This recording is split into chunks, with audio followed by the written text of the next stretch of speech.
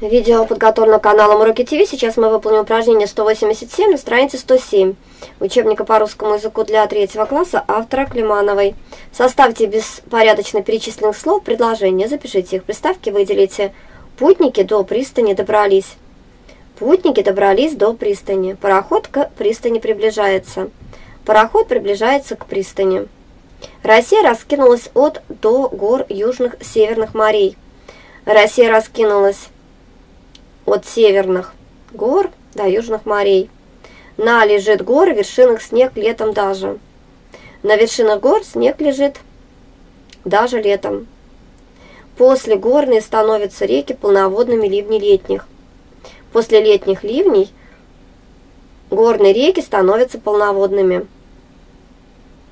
Выделим приставки «добрались», приставка «до», «приближается», «при», «раскинулись», «раз», если вам понравилось видео, смотрите остальные видеорешения на нашем канале. Если у вас есть вопросы или предложения, оставляйте свои комментарии.